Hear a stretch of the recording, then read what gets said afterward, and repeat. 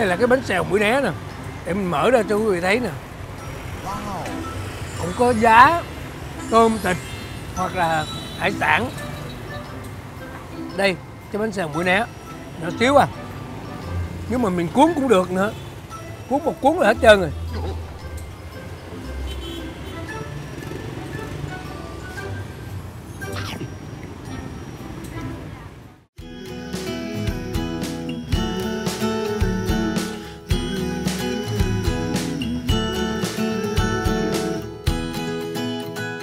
Nãy đem cái chén nước mắm ra đó thường thường là mình thấy cái chén nước mắm mà pha nhỏ xíu thôi để mình chấm. Ví dụ như là bánh khọt bánh xèo hay là cái gì đó mình cuốn xà lách rồi này kia mình chấm. Nhưng mà ở đây là khác. Đây là cái cá, cá kho. Cá kho nghe nói là cá kho bỏ chung vô cái nước mắm. À cá kho bỏ chung vô nước mắm rồi rầm ra như vậy nè. Xong rồi đó là bỏ rau cỏ vô. Trước hết là xài sống bào nữa.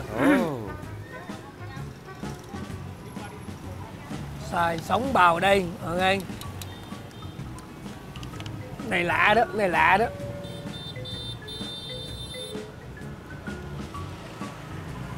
Bỏ cái ớt vô đây.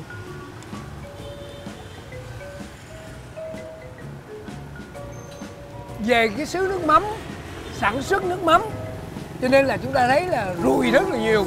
Nhưng mà đừng có ngại cái chuyện đó. Tại vì cái nơi sản xuất nước mắm là thường thường là như vậy đó. Nước mắm ngon lúc nào cũng vậy hết ăn ăn cái gì mà ngon là là là mấy chú người phải tham gia. Nhưng mà miễn làm sao là mình thấy mình ráng cố gắng ăn tới đâu đuổi tới đó thấy không?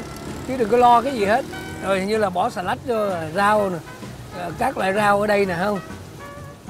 Đó, bỏ vô đây như thế này. Không có cuốn không có cuốn như bánh xèo hay là bánh bánh khọt. Đây bánh căn trứng. Đây là bánh căn trứng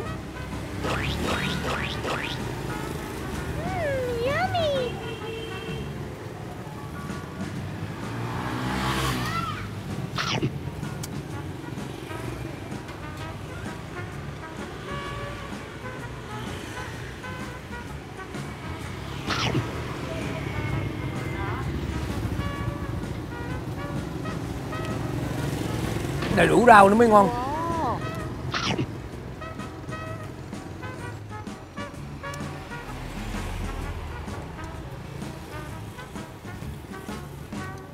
Một cái lạ mà thú vị đây đó đã là nước mắm rồi mà ăn cá kho bỏ vô nước mắm nữa. À, đó. cái đặc điểm của bánh bánh xèo mũi né và và và bánh căn đó là vậy nè thấy chưa? Ngâm nó xuống ngâm nó xuống cái chén nước mắm này nước mắm này nó rồi pha nó lạc rồi. Thành ra cá kho bỏ vô nó mới bắt đầu nó mới vừa cái cái cái vị của nó. Nguyên cái này ha mình ôm nguyên cái này để coi nó như thế nào nghe không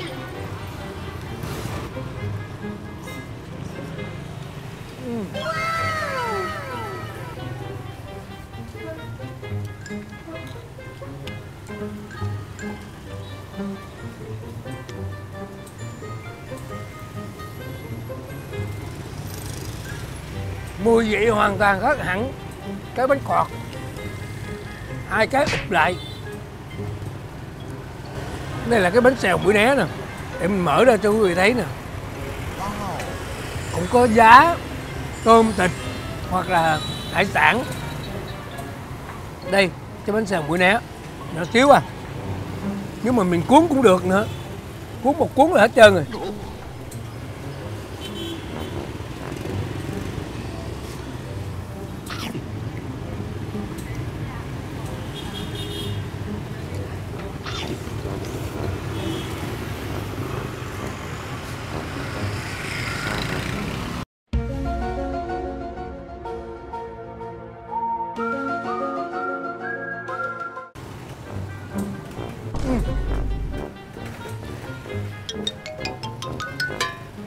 Vừa ăn ngon lắm.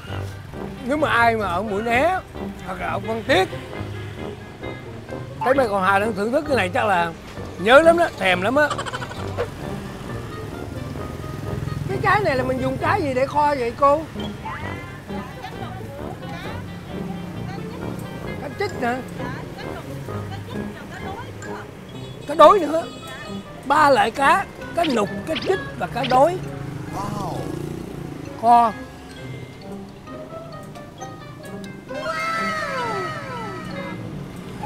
nó rất là vừa.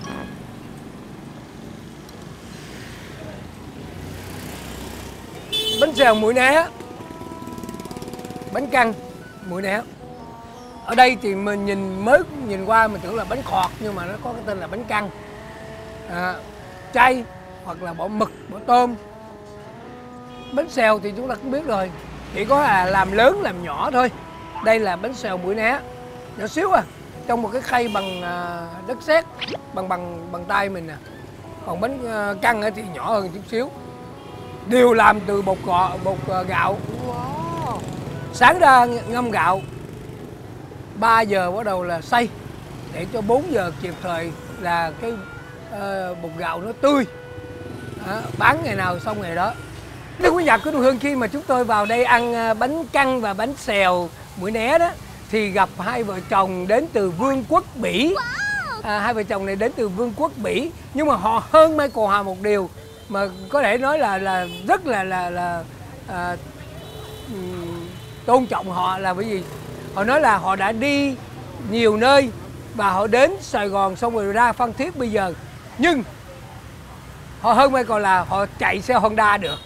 Hai vợ chồng chạy xe Honda đi tới cái quán cốc này để ngồi ăn bánh xèo và bánh căn. Wow. thì chúng tôi nói chuyện thì hỏi chuyện thì họ mới chia sẻ. Ông làm cho uh, một cái ờ, nhà thương về tâm lý ở bên Bỉ. Còn bà là một người y tá. Mà y tá là uh, đi đến những người nhà những bệnh nhân. Bây giờ nó có một cái trào lưu bên Âu Châu và bên Mỹ đó là những người y tá không có phải là chỉ làm ở trong nhà thương mà thôi. Họ có thể phục vụ tất cả những bệnh nhân bất cứ ở đâu nhu cầu gì cần thiết. Wow. bởi vì cái y tá y sĩ rất là cần. Và hai ông bà cũng ờ, gọi ờ, bánh căn và bánh xèo để ăn trải nghiệm. What would you say to your colleague? Fifth time already in Vietnam. What would you say to your colleague? When they ask how your trip? What would you say about it? In one word or uh... well as many words as you can.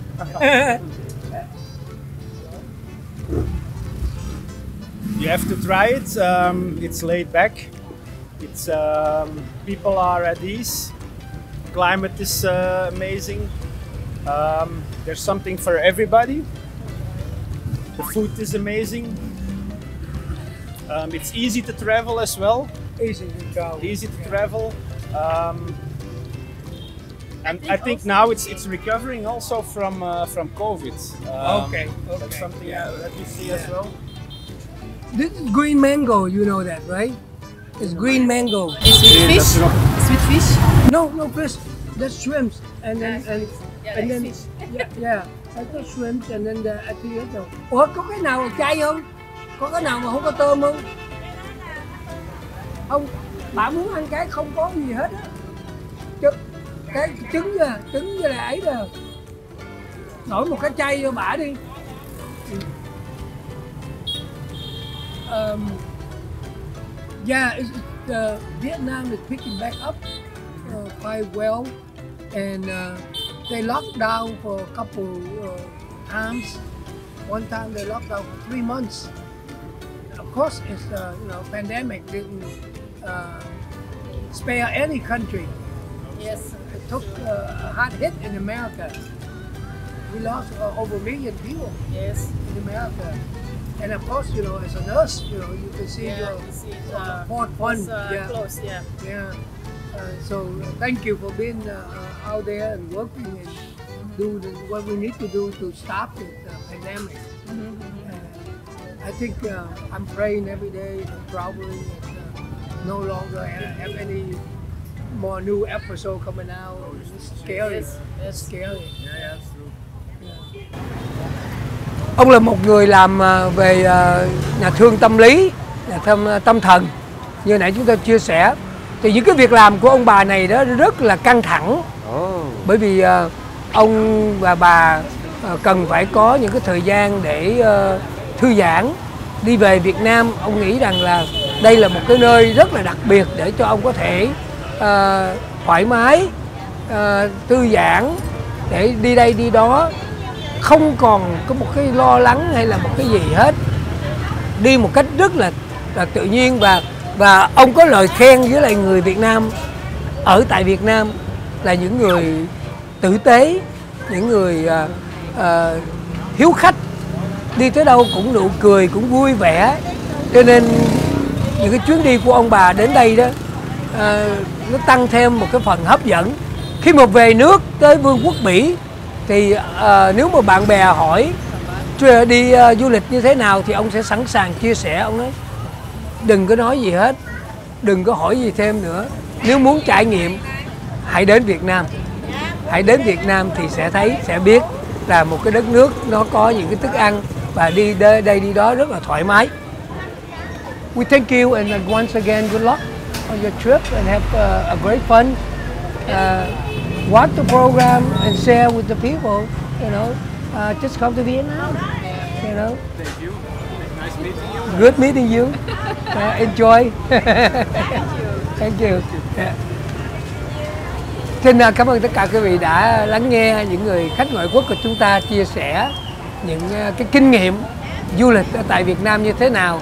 Nếu mà chúng ta là những người Việt Nam mà chia sẻ cho người khách ngoại quốc hoặc là bạn bè Việt Nam chúng ta ở nước ngoài thì có thể nói là hơi dư, hơi thừa. Bởi vì à, gà nhà khen gà nhà nhưng mà những người khách ngoại quốc chúng ta rất là à, thật tình và thẳng thắn. à, cô nói cô không thích nhiều thức ăn Việt Nam bởi vì nó có nhiều cái vị cay còn ông thì ông ông thích. Đó là những cái thẳng thắn của những người à, ở phương trời tây. Cảm ơn tất cả quý vị xin hẹn lại những lần à, kỳ tới trong cái chương trình mai cộng hòa phiêu du ký.